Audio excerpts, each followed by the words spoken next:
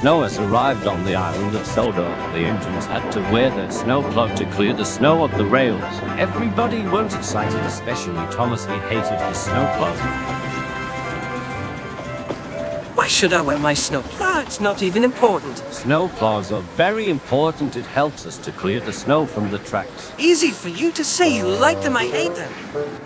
Later that night, a huge snowstorm came across the island, covering the tracks.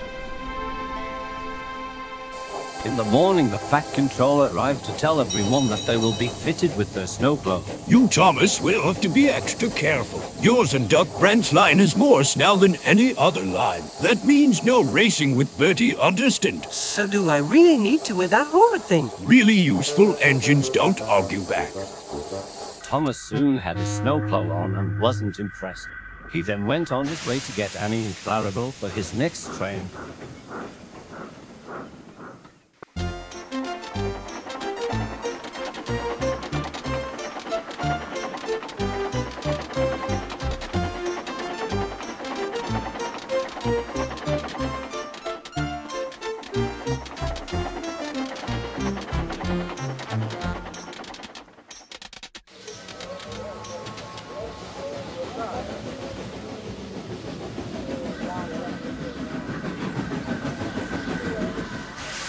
How come you are upset, little Thomas? It's my snowplow. I just don't like it one day. I hope I never see it ever again. Just then, Bertie the bus arrived at the station.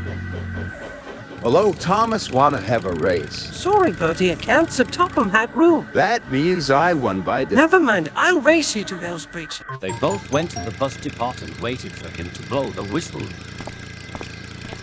Ready, steady.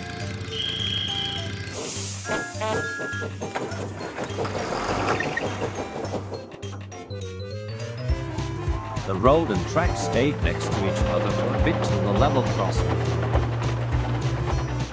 After that, the road left the rails so they couldn't see Bertie. Come along, used to we must win. We're coming along, we're coming along, we're coming along.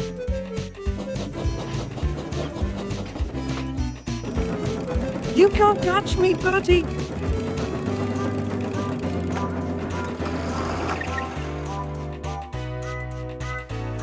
Thomas then had to stop at the first station to let some passengers off. Get in quickly, please.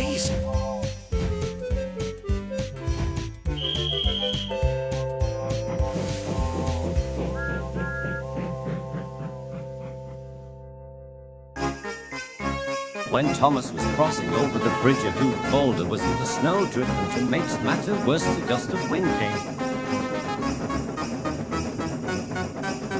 Thomas hit the snow dip, and the snowplow came off and blew to the sky. Bust my bumpers, driver. My snowplow, it's gone.